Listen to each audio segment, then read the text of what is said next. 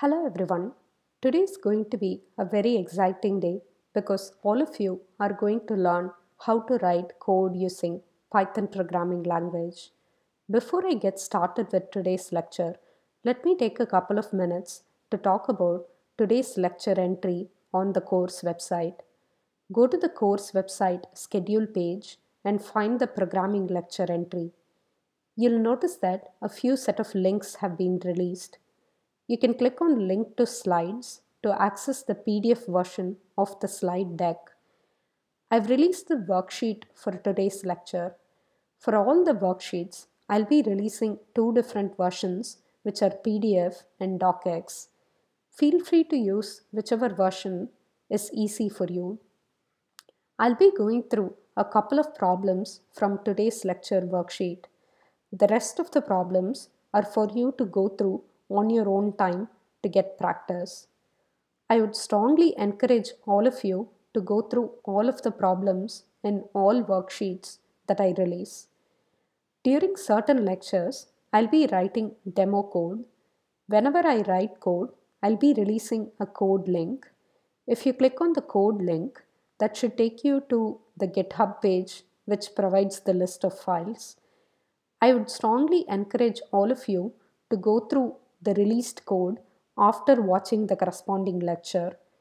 Learning how to program is a hands-on task, so it is important for you to get practice by going through the lecture demo code. Sometimes I'll be releasing additional examples as part of this code link that are not covered during the lecture video. That should give you more incentive to go through the released code. Let me address one of the feedback form requests that I received.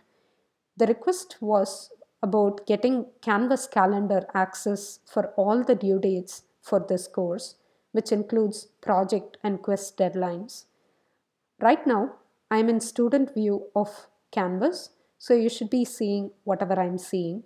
You can navigate to the calendar on the left pane, and that should take you to the Canvas calendar for this course which is already populated with all the deadlines.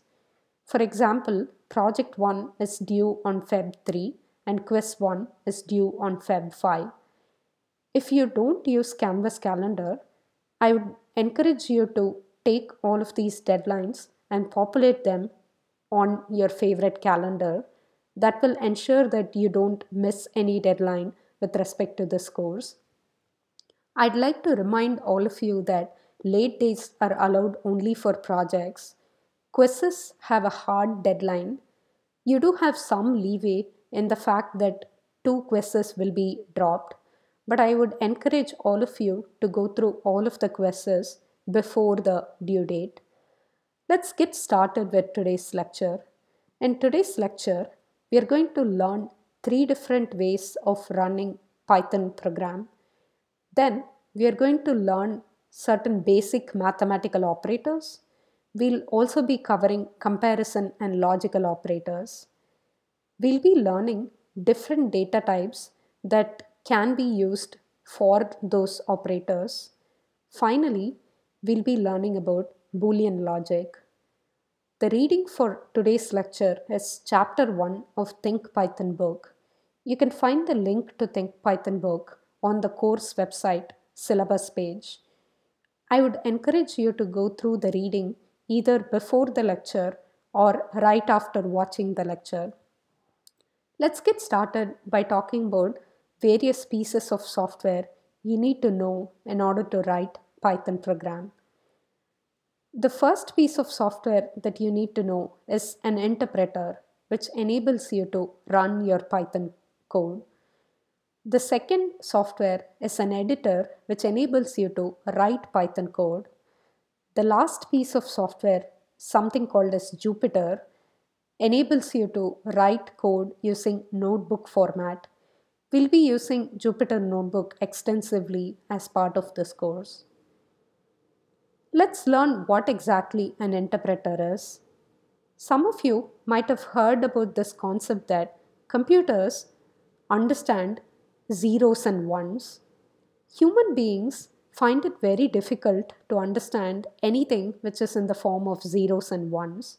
So interpreter is something which translates the Python program, which is in a neat human readable textual format into a machine understandable format in the form of ones and zeros. Let me give you an analogy here. The human brain is an excellent example of an interpreter. Let's consider this direction which was included as part of the previous lecture worksheet which said put 11 in the box. When your brain receives such an instruction, it will take that and convert it into a series of detailed steps. For example, move the hand down, lift your hand, move the hand up to right and lower your hand, move the hand down in order to write the number 11 inside the box. Python interpreter works in a similar way it will take your Python code, which is in a textual format, and it will convert it into machine readable zeros and ones. Are you able to guess what exactly this Python code on the left here will do? If you were thinking it will display hello Meena, then you had the correct guess. How were you able to guess that without even knowing how to write code in Python language? That's because this is just in plain text format and it has very intuitive meaning associated with each of those textual words, correct? Python interpreter itself is a program which is going to run your Python program. As I mentioned, both the human brain and Python would be examples of an interpreter. Let's learn about the editor piece of software next. You need to use an editor in order to type Python code. Python programs will have a .py extension for the file. Since Python uses just plain text, you'll be able to use any of your favorite text editors. For example, you might have heard of TextEdit if you use Mac or Notepad if you use Windows. The alternate option for you would be the idle editor, which comes pre-installed when you install Python 3. So what's the difference between a regular text editor and an idle editor? It is syntax highlighting. What exactly is syntax highlighting? Syntax highlighting refers to the fact that the editor uses different colors to highlight certain parts of your Python code. For example, you have orange, purple and green color here. Which editor you prefer is totally up to you, but I would encourage you to use the idle editor or some other editor which performs syntax highlighting. I will be using idle editor for the demos that I go through as part of this course you're more than welcome to use any other editor that comes along with Anaconda 3 installation like Spyder or PyCharm. Let's talk about the last piece of software here, which is Jupyter. The difference between regular .py Python script and a Jupyter notebook is that you'll be writing code inside what are called as cells the excellent thing about the Jupyter Notebook format is that it is able to interleave the output of your cell's code along with the code itself. That is very helpful because you'll be able to visualize your plots that you produce as part of your code. This tool is becoming increasingly famous in the world of data science. The reason for that is Imagine that you're performing some analysis and you're writing your code using Jupyter Notebook. So you have all of your code and all of your analysis output in the same place. Let's say that some other data scientist wants to reproduce your work. It's very easy for you to just share your notebook with them so that they can go through your code, make any changes that they would like to make, and come up with their own version. The Jupyter software enables you to write files which have a .ipynb extension which stands for Interactive Python Notebook File. Unlike the .py script mode, which can be edited using any text editor, the Jupyter Notebook cannot be edited using a simple text editor. That is where the software Jupyter comes into play. You will have to use Jupyter in order to edit your notebook code or to run your notebook code. Another difference which is the key between the regular .py script and notebook is that you can split up your code into individual sections by using the cell structure. Let's learn about the three different ways that you can run Python on your laptop. The first mode is something which is called as the interactive mode. Recall that the text highlighted on line 1 in red color is the prompt of your shell.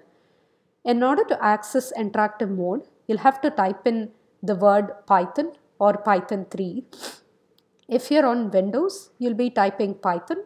If you're on Mac, you'll be typing Python 3. The very first line here will show the version for Python. Make sure that it shows 3.8.5. This snapshot is a little bit outdated. Once you go into Python interactive mode, your prompt will change into triple right arrow and you can run any Python code in there. Let's talk about mode number two, which is script mode. Script mode again requires you to use your terminal or your PowerShell. You'll have to type in the word Python on Windows or Python 3 on Mac and then you have to type space and provide the name of your Python script file which will have a .py extension. An example of that here would be my underscore program.py. The Python acts as an interpreter which enables you to run your program. Let's talk about the last option here, which is the Jupyter Notebook. Outside of this course, people will not be referring to Jupyter Notebook as a mode. I'm just listing that as a mode for consistency purposes. How can you launch Jupyter Notebook? You'll have to type in the command Jupyter space notebook and that will launch Jupyter session on a web browser for you. As I mentioned before, we'll be doing most of our work in Jupyter notebooks throughout the course of this semester. I just want to mention one thing before we move on to the demo for all of these modes. If you're interested in learning how computers work with ones and zeros, I would encourage you to consider enrolling into machine organization course, which is CS 354. Let's proceed with the demo for all three of these modes. Since on sorry, since I'm on a Mac, I'm going to press Command and Space in order to open Spotlight Search and I'll be typing terminal to launch the terminal window. If you're on Windows, go to the Windows search bar and type in PowerShell and that should enable you to launch PowerShell application. I'm going to type in the command pwd which will enable me to see the current working directory. Most of the times your terminal and PowerShell will directly launch to your user directory location. Let's first go into Python interactive mode. Since I'm on a Mac, I'll be typing Python 3. If you're on Windows, please type in Python. Notice that the Python version is showing up as Python 3.8.5 in line 1. Once you get the triple right arrow, you'll be able to write and run Python code. For example, you can say 1 plus 3 or 2 plus 4. Shell commands like pwd and ls will not work and you'll get an error saying name pwd not defined or name ls is not defined. How can you get out of your Python interactive mode and go back into your shell mode? There are a couple of ways for you to do that. You can type in exit open parenthesis close parenthesis and type in enter. Let me go back into Python interactive mode one more time. Alternatively, you can press, sorry, press Control D, which will enable you to exit if you're on a Mac. If you're on Windows, the corresponding option is Control Z and enter.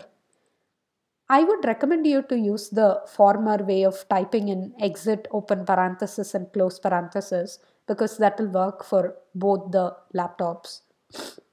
Once you're in shell mode, if you're on Mac, you'll not be able to run mathematical operations like 1 plus 3. My current shell, which is bash, is complaining that it cannot understand what sort of command 1 is. Just like Python cannot understand shell commands, bash is not able to understand Python code line here. If you're on PowerShell though, 1 plus 3 would have worked because PowerShell has the capabilities for you to perform mathematical operations. Let's move on to the next mode, which is the script mode. As I mentioned, I'll be using idle editor. Feel free to use any other editor that makes sense for you. If you're on Windows, it is likely that you'll have to type idle in order to launch the idle editor. If you're on Mac, it's likely that you'll have to type in idle 3. Go ahead and press enter. That will launch idle for you. So if you want to change the font size, you can go to Python 3.8, preferences, and that should enable you to change the font size. Go to the file menu, click on new file. That should open an untitled file for you. Go ahead and type the same mathematical operation, let's say 1 plus 3 and 2 plus 4. And let me show you how you can save your Python script here. If you're on Mac, press Command and S. If you're on Windows, press Control and S. And I'm going to navigate to Documents folder CS220 folder and I've already created a lecture folder. I'm going to save this file as demo and I'm going to click on save. I would encourage you to create folders for the lecture demo code as well if you're following along. If not, create the folders after watching the lecture when you go through the code. Once I save this program, I'll be able to run it by going to the run menu and clicking on run module. Alternatively, you can click on F5 which would be function F5 on your Mac laptop. What just happened? I thought we'll get the computation result here. Why did that not happen? That's because we are in script mode. In script mode, if you want to take a look at your computations result, you'll have to use the print function call. For now, don't worry about what exactly a function call is. Just type in the word print, open parenthesis, and then your mathematical operation here and type in the close parenthesis. I'm going to save my file and press function F5. Notice that now we got 4 here. What happened to the second computation? it vanished into the ether because you didn't do anything with it. Let's go ahead and add the print function call to that one as well. I'm going to save this and I'm going to run it one more time. There you go. For some reason, when I press function F5 on my keyboard, that runs my program twice. Not sure why that's happening. So, as you can see, interactive mode is different from the idle mode. Let me go ahead and close the script mode here and then I'll talk about what's the difference between the both. Interactive mode is meant for a little bit of quick checking for you. If you're new to learning a particular programming language, wouldn't it be nicer if you can pop into it and test out a few lines of code that is exactly what your interactive mode enables you to do. Any code that you type in your interactive mode is not saved anywhere at all. So if you want to save your code in a permanent way, you'll have to use the script mode or the Jupyter Notebook mode. We just went through the script mode. Let's go through the Jupyter Notebook mode. I'm going to type in Jupyter Space Notebook You'll get used to the misspelling of Jupyter with a Y very soon. And I'm going to press enter. That will launch Jupyter Notebook session as a browser tab for me. I'll be able to use that session to perform navigation just like I can navigate using a shell. So I'm going to go to the same lecture 4 directory and as you can see demo.py is being listed here. Let's create a new notebook file by clicking on new and clicking on Python 3. Let's go ahead and rename the file to be main which is sort of a traditional name in programming world. I'm going to repeat the same mathematical operations. This time I'm going to write them into the cell structure which is the rectangular box that is highlighted here. How can you run this code? You can either press the run button or shift plus enter on your keyboard. Couple of things for you to notice here.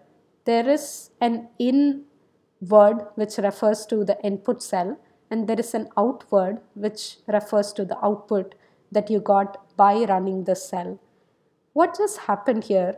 We are only seeing the output from the last computation here which is 2 plus 4 in a notebook cell, you will always be able to see only the last line of computation.